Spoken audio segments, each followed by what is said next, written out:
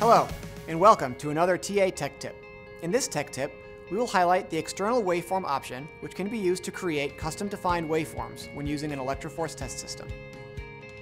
External waveform is an excellent feature in WinTest software that allows users to define their own custom waveforms. With external waveform, you can define any waveform you desire. Waveforms can be created in external programs such as Microsoft Excel.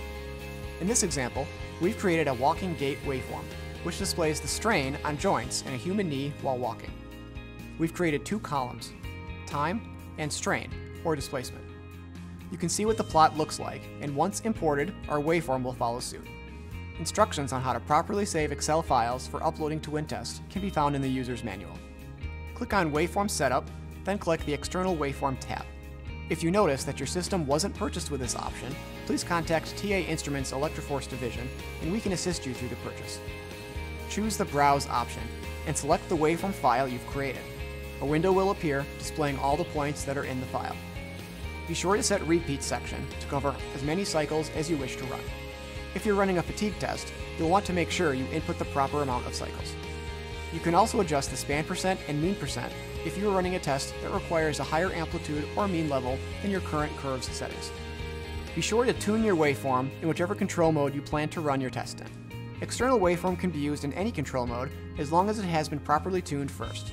TuneIQ can be used to assist in this process, however, you cannot run TuneIQ in the external waveform window. TuneIQ must be run as a sine wave. Once the waveform has been properly tuned, click the Mover Power On button and run your test.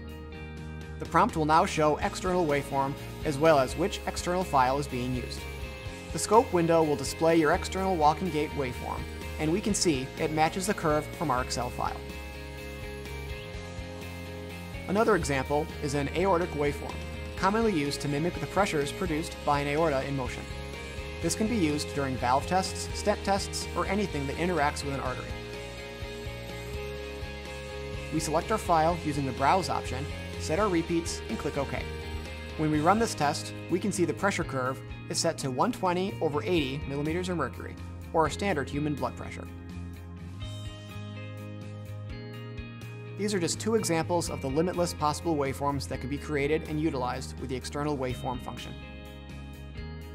In this TA Tech tip, we demonstrated how to create custom waveforms using the external waveform option on an ElectroForce test system.